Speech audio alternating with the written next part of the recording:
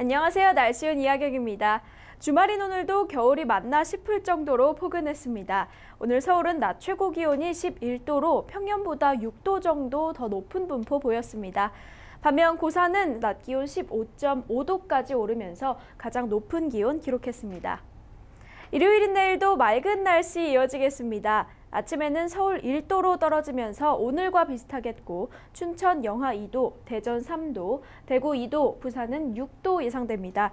낮 기온은 서울 11도, 춘천 9도, 대전 12도, 광주 13도, 부산은 14도까지 오르겠습니다.